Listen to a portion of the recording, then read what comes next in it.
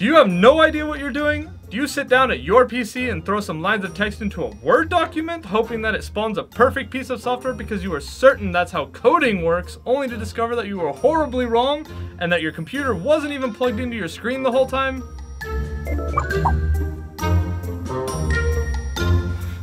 I want to learn how to code, but I have no idea what I'm doing. That's where I jump in. My name is Olafur and I want to teach you how to program. My name is Gabe. I work as a community developer here at Massive on the Uplay team. And my name is Olafur Waage. I am a senior programmer on the Uplay PC project working on the back end. We want to introduce you to an idea we're calling Code School. I know absolutely nothing about programming and that's why we are having an expert be involved. Join us every Friday where Olafur here will teach me how to code from a very basic level. We will be using a language called processing which was invented to teach someone to program. The main big idea is that there is a zero barrier to entry you should be able to join the stream, open up a web browser, and start programming immediately. Check out the description below for more information about the tool we're going to be using, as well as how you can participate, because we really want to get you involved.